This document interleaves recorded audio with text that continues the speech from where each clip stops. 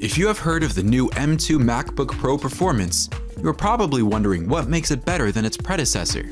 With over 4 billion more transistors, 50% increased unified memory bandwidth, and two additional GPU cores, there is an undoubted improvement. Whether it is 40% faster graphics or simultaneously streaming 4K and 8K videos, the M2 might be better. For today's video, we will present details of this. Let us get started. First, the 13-inch M2 MacBook Pro review shows that there is an upgrade from the previous generation of M1. Even though this is an M1 MacBook Pro versus M2 MacBook Pro, both models are relatively identical in design and physical attributes. They have the same dimensions and weight. The M2-based MacBook Pro also has a touch bar, making the pair the only Macs to have the feature.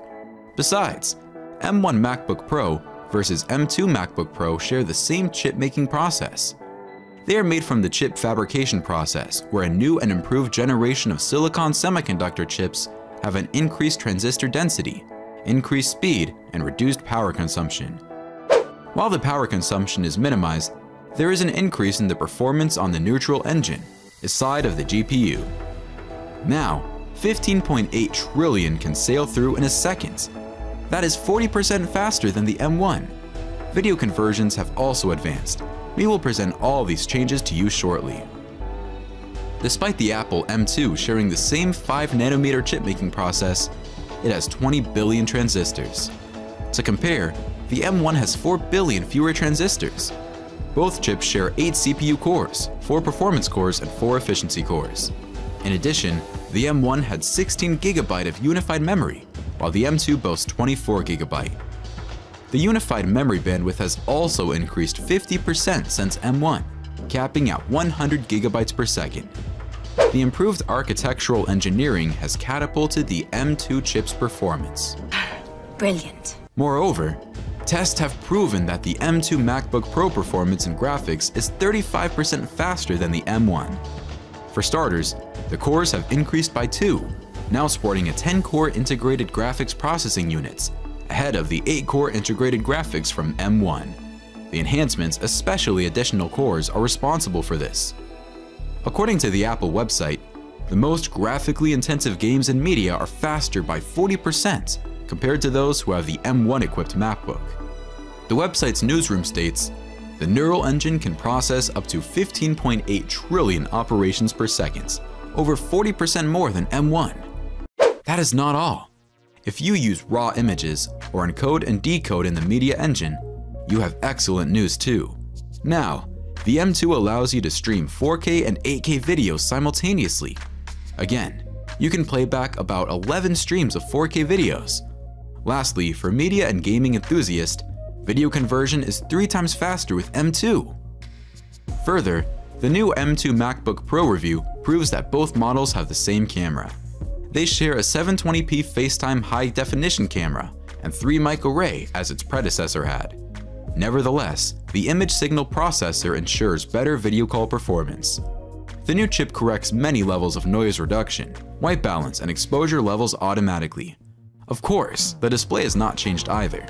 Both MacBook Pros share a 13.3-inch LED backlit display with IPS. As well, there is a resolution of 2560 by 1600 at 227 pixels per inch. Additionally, True Tone and 500 nits of maximum brightness are assured. Speaking of True Tones, there is a hot topic of what the speakers on M2 can add to audios. They support spatial audio, a feature that adds 3D effects to most audios. We will present that and other simultaneous features of both M1 and M2 chips for comparison shortly. Don't go anywhere. Meanwhile, the models share a pair of universal serial bus 4 slash Thunderbolt 3 ports on connectivity and ports. These ports support the DisplayPort to Thunderbolt data transfer at 40 gigabytes per second speed. Both chips have headphone jacks, but the new model has specific support for high impedance headphones.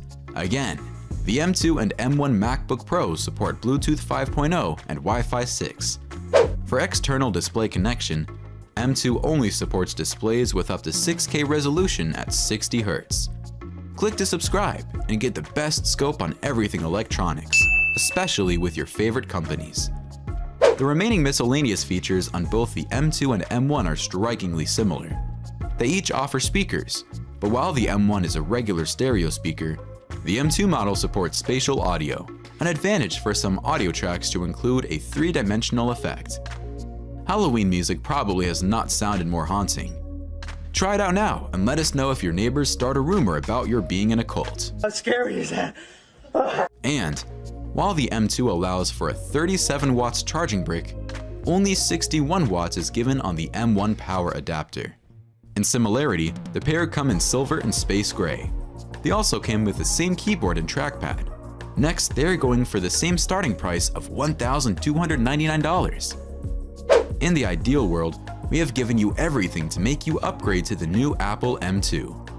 But is that not what new Apple products have always been about? Well, if you have not seen our previous video, we zoom in on the M2 alone and explain what makes it superior, not only over M1, but also over other competitors' chipsets. Watch Apple M2, everything you should know.